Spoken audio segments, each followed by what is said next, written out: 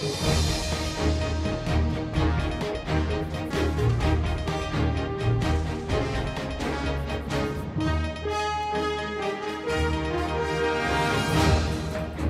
Abend und willkommen zu Schweiz aktuell nach dem Wochenende, wo der Sommer wieder zurückgekommen ist. Wir haben heute diese Themen für Sie. Schneller Verkauf. 93 Tiere vom verhafteten Rosszüchter aus dem Thurgau werden schon diese Woche versteigert. Das sind überstürzt und nicht zum Wohl der Tiere, befürchten Tierschützer.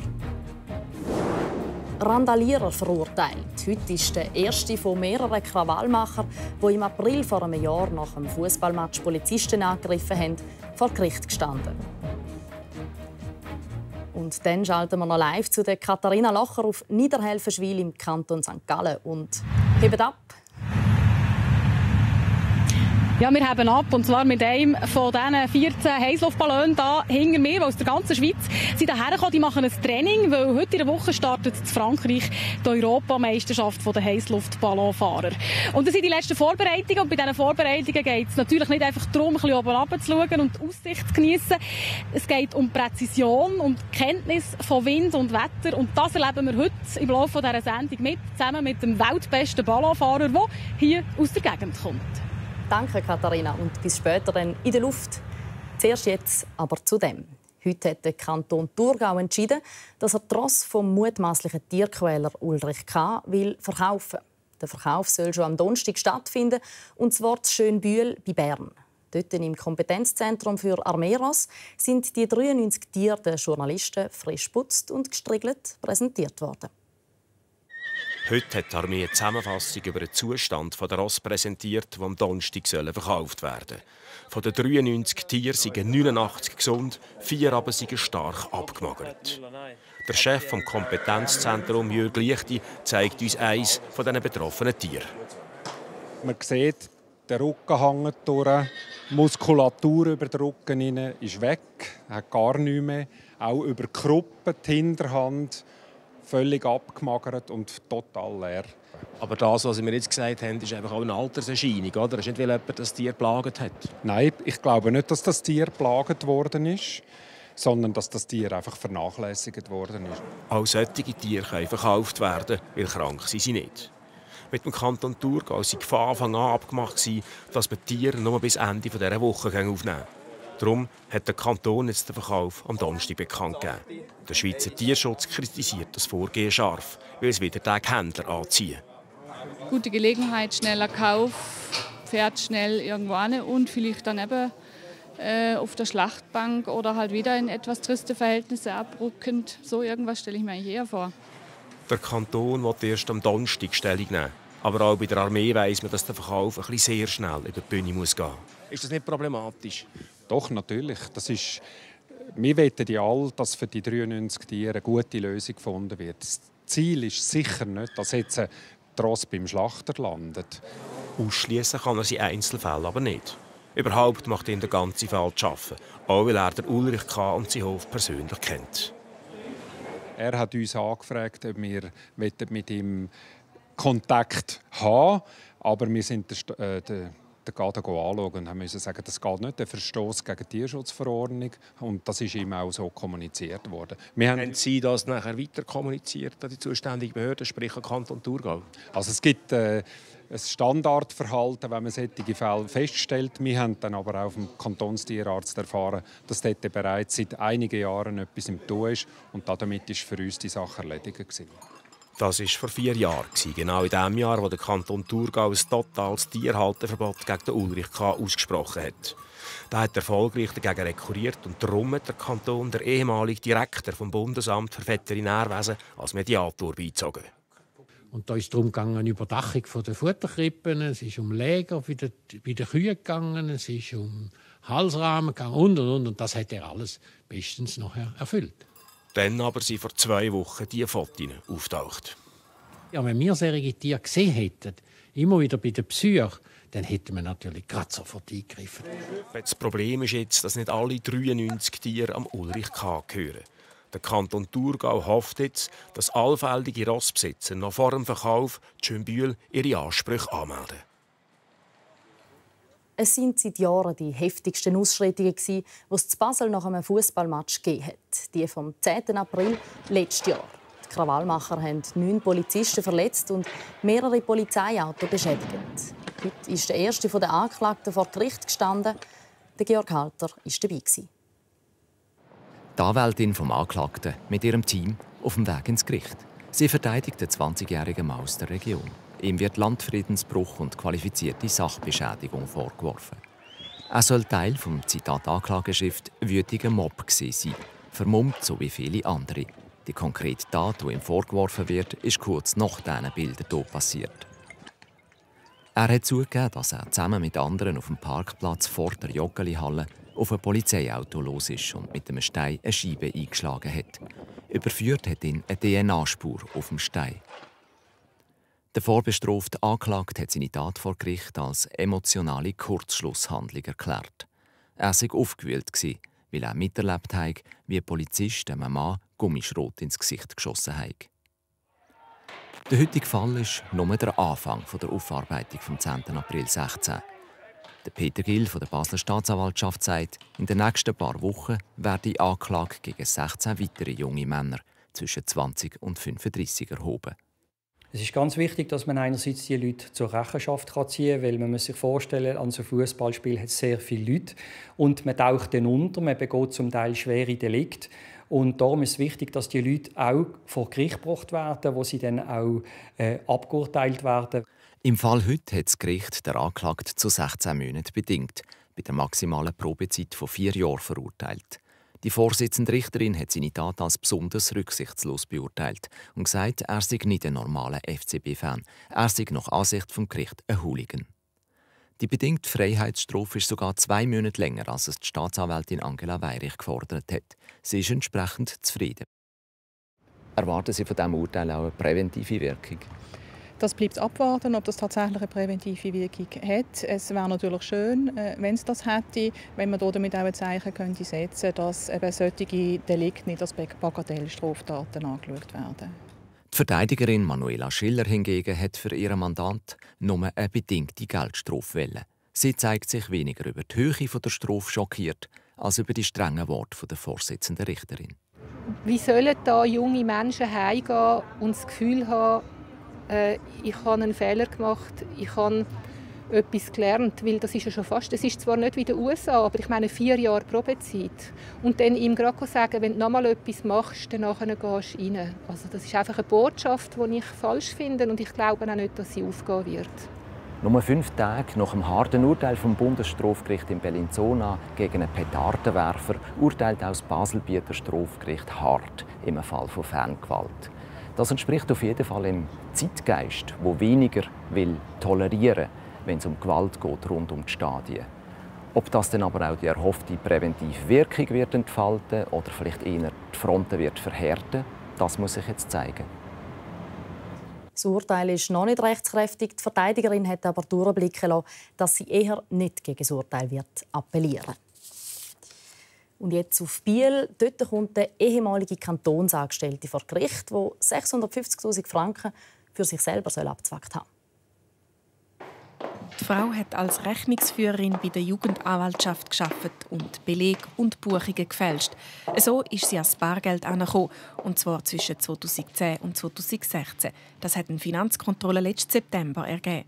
Der Kanton Bern hat ihr dann fristlos gekündigt. Jetzt ist sie angeklagt wegen Veruntreuung und Urkundenfälschung. Die Frau ist geständig. Schüler mit einer Behinderung, lernschwache Kinder Flüchtlingskind oder auch schnelle, besonders starke Schüler. Irgendwann sollen alle die ganz normal zusammen in die Schule gehen. Inklusive Unterricht, sagt man dem. Und solchen Unterricht sollte auch im Kanton Bern stattfinden. Der steht aber in der Kritik. Die Berner Stadtregierung und auch Bildungsforscher finden, der Kanton sollte mehr machen, um einen integrativen und inklusiven Unterricht zu fördern. Der Joel Baumann berichtet. Die einen lernen Grammatik, andere sind am Rechnen oder schreiben eine Geschichte. Ob lernschwach oder nicht, am Schulpult sind hier alle gleich. Dritte, vierte Klasse vor Barbara Klaus Zarwangen in einer ganz normalen Stunde. Offenen statt Frontalunterricht. sieht jetzt vielleicht aus, jedes macht irgendwo etwas, aber äh, es ist eigentlich ganz genau bestimmt, also sie, äh, ja, also ich weiß, was sie machen und, und sie müssen das eigentlich auch dokumentieren. Es ist eine von mehreren Klassen an der Dorfschule Arwangen, die sich auf den Weg gemacht hat Richtung inklusiven Unterricht, unterstützt von Schulleitung. Die Ziele des Lehrplans müssen auch hier erfüllt werden. Es geht aber alle in ihrem eigenen Tempo vorwärts, je nach Interessen und Stärken. Von mir aus gesehen müssen sie selbstständig sein und von mir aus gesehen muss jedes in seinem Tempo einen Fortschritt machen. Das kann sein, dass wenn ich irgendein Nomen durchnehme, das wissen alle Lehrer. Dann kann man sagen, ja, ich habe es abgehakt, aber dass das jeder begriffen hat, das ist, das ist eine Illusion. Was zu Arabangen funktioniert, stößt an anderen Orten auf Widerstand. Lehrer haben sich vor kurzem beim Kanton beklagt, ein oder zwei schwierige Schüler können den ganzen Unterricht komplett lahmlegen. Für das Inklusion funktioniert, braucht es alle. Eltern, Lehrer, Schulleitung, sagt Caroline Sali von der Pädagogischen Hochschule Bern. Sie forscht seit 20 Jahren zum Thema. Forschung sagt, dass alle profitieren von einem guten, inklusiven Unterricht. Wenn man auf die individuellen Bedürfnisse, auch Interessen, Fähigkeiten der einzelnen Schülerinnen und Schüler eingeht, profitieren besonders auch die leistungsstarken Schülerinnen und Schüler. Auch der Kanton Bern verfolgt das Ziel, immer mehr Schüler in die Regelschule zu integrieren, investiert aber nach wie vor auch in Sonderschulen. In den letzten fünf Jahren 35 Millionen Franken. Aktuell gibt es dazu 14 Bauprojekte, wo sich der Kanton finanziell daran beteiligen. Ja, wenn man das natürlich aus der Brille Inklusion anschaut, ist jede Form von Sonderschule ein Widerspruch, der in dem Sinn wie dem Ziel der Inklusion im Weg steht. Weil solange man in Sonderschulen investiert, fehlen die entsprechenden Mittel, für eben die Integration oder die Inklusion weiter voranzutreiben. Man sei auf dem Weg Richtung inklusive Schulen, heisst es beim Kanton. Es sei aber ein langer Weg. Auch, weil nicht alle von diesem System überzeugt sind. Die Sonderschulen selber einfach jetzt so abzuschaffen, das ist unmöglich. Es gibt auch ganz klar Eltern, die wollen, dass ihr Kind äh, separativ geschult wird. Die Sonderschulen, die gebaut werden, werden in der Nähe der Regelschulen gebaut. Aber wir geben laufend mehr Geld aus für Integrationen. Wir haben laufend mehr integrierte Kinder in den Regelschulen. In diesem Punkt sind sich alle einig, eine Umstellung braucht Ressourcen und vor allem auch viel Zeit. Die Barbara Klaus hat vor gut zehn Jahren umgestellt. Bereut hat sie diesen Entscheid bis heute nie. Mit dem Heißluftballon langsam am Horizont entgegengleiten, am besten in der Abendsonne. So ein romantisches Bild haben wohl viele Leute vor Augen, wenn sie ans Ballonfahren denken. Es kann aber auch anders sein, nämlich dann, wenn die Schweizer Nationalmannschaft der Ballonfahrer am Trainieren ist. Dann geht es zackig zu und her und jede Bewegung ist auf höchste Präzision ausgelegt. Und bei so einer Trainingsfahrt zu Niederhelfenschwil im Kanton St. Gallen ist jetzt meine Kollegin Katharina Locher dabei. Und bald eben ab. Ja, jetzt haben wir den gerade ab da mit diesen 14 Kollegen. Es fehlt nur noch die letzte Passagierin, die muss noch schnell in den Korb klettern. So. Wunderbar, also jetzt haben wir das. Dann braucht es nur noch die berühmte Heißluft.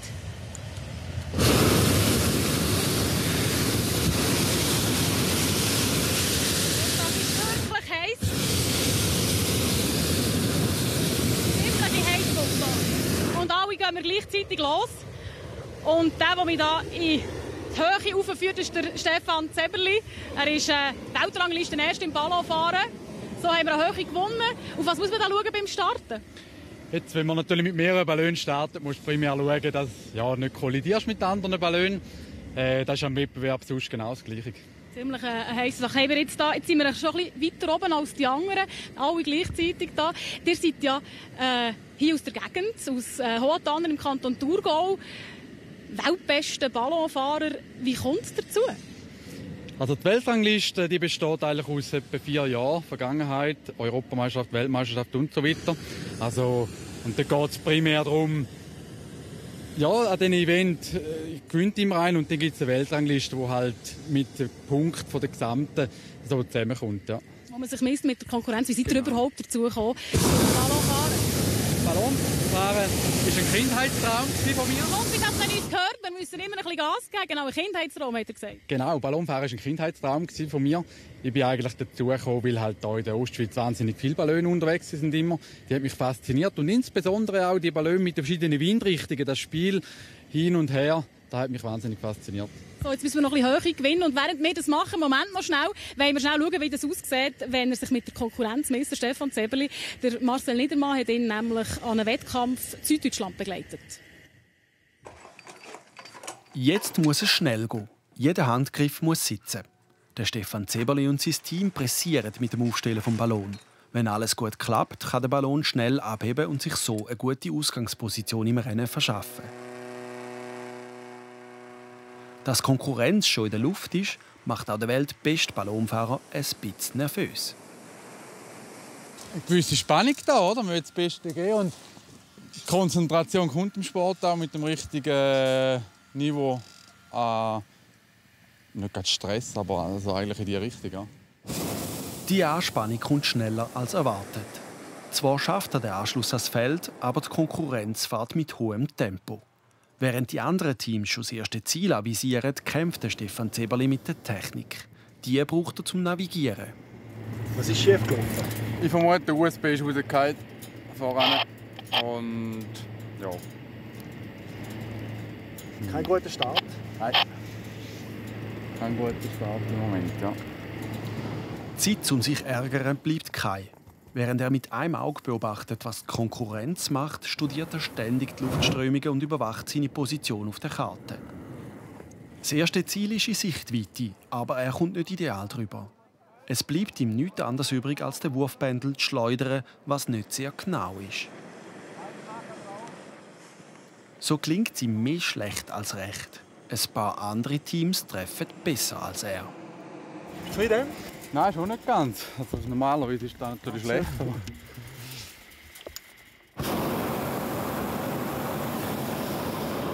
Also, wir gehen immer noch mal schnell auf die Höhe zurück, wo es gut ist. Ganz auf sich gestellt ist er nicht. Vom Boden aus unterstützt ihn sein Team, das ihm nachfährt. Die nächste Aufgabe ist ein virtuelles Ziel, wo die Ballone möglichst genau anfliegen müssen. Die meistert er souverän. Aus dem anfänglichen Rückstand wird ein Vorsprung. Dann verlässt Stefan Zeberlis Feld und steigt auf über 2000 Meter Höhe. Da sind es Trägerwolken, die er möglichst ausweichen muss, um jederzeit sicher zu sinken. Genau diese spontane Herausforderungen sind seine Stärke. Aber vor allem ist es sein Ehrgeiz, der ihn bis an die Weltspitze gebracht hat. Im Wettbewerb musst du schon musst ganz klare Grenzen haben. Sagen, bis dort gehe und, aber die Grenze muss sehr, sehr hoch stecken. Ja. Auch die letzte Aufgabe klingt ihm gut. Roland, ich lande östlich von Stetten, südlich von Heigerlach. Östlich von Stetten am Wald hin. Nach zwei Stunden in der Luft und sechs Aufgaben ist das Rennen vorbei. Trotz der Probleme mit der Technik und dem missglückten Wurf bei der ersten Übung hätte Stefan Zeberli die Konkurrenz in den Schatten stellen. Er ist zufrieden. Sehr gut, spannend war. Die Wind hat halt ein bisschen gedreht, dann musst du kämpfen. Und das ist eigentlich das, was ich eigentlich gerne habe. Ja, gerne musst kämpfen. So ist auch der Wettbewerb nach dem Geschmack von Stefan Zeberli gelaufen. Langsam starten und dann von hinten aufholen bis an die Spitze. Ja, und wer Höhenangst hat, hier über Niederhaufenschwil, sollte jetzt im Moment nicht anschauen. Wir haben ziemlich eine Höhe gewonnen, live hier über Niederhaufenschwil. Wenn wir da die Kollegen mal anschauen, wie die fliegen. Stefan Zepperli, wie läuft denn im Moment, der Trainingsflug, auch wenn wir da rüber schauen? Also grundsätzlich ist höher langsamer. Da kann man ein bisschen nach rechts korrigieren aktuell. Unten geht es ein bisschen mehr links. Und so haben wir natürlich Steuermöglichkeit mit dem Ballon. Aber ihr tut immer wieder auch steuern. Ihr seid abhängig auch von, von der äh, Richtung, wo die anderen fliegen. Ihr seid abhängig von eurem Können, aber auch abhängig vom Wind. Und das ist das grösste Risiko. Wie ist das für euch? Das ist ja so. Also grundsätzlich können wir eigentlich nur die Höhe ändern und dort den Wind nutzen, der uns halt passt. Und wir haben schon recht gute Vorhersagen, dass wir auch wissen, welche Höhe für Wind vorhanden ist und so eigentlich dann auch die Aufgaben so können fahren es, ja, wie es etwa zu erwarten ist. Aber wir haben im Beitrag so ein die Aufgaben gesehen, die ihr habt äh, bei diesen Wettkämpfen. Wie ist denn das? Manchmal muss man ein bisschen an die Grenzen gehen. Ist das manchmal auch ein, ein Risiko? Passiert da oft etwas? Ein Risiko würde ich nicht sagen. Es ist natürlich schon so, dass sicher eine gewisse erhöhte Gefahr da ist, wenn natürlich 100 Ballone das Ziel anfahren. Das ist manchmal sehr eng, da musst du aufpassen auf andere und dass du frei bist. Aber von einem Risiko würde ich jetzt in dem Sinne nicht reden.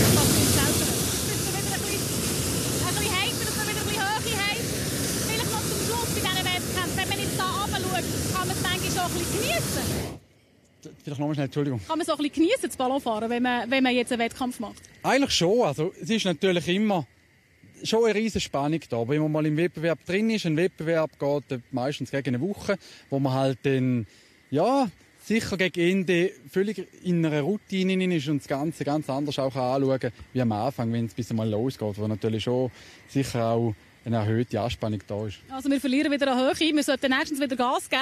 Äh, dann hoffe ich, dass ihr noch ein bisschen das geniessen an der Europameisterschaft auch, aber ich hoffe natürlich auch, dass der, äh, der Weltrangliste der Erste bleibt. Und wir, wir genießen es jetzt einfach noch ein bisschen, schauen umeinander, schauen die hinter uns an, die Ballon, schauen die schöne Aussicht über Niederhelfenschwil an. Danke, Katharina Lacher, live aus der Luft und gute Fahrt noch. Und Ihnen wünsche ich einen schönen Abend am Boden. Schweiz aktuell geht es dann morgen wieder. Da geht es weiter mit der Börse und der Tagesschau. Adi miteinander.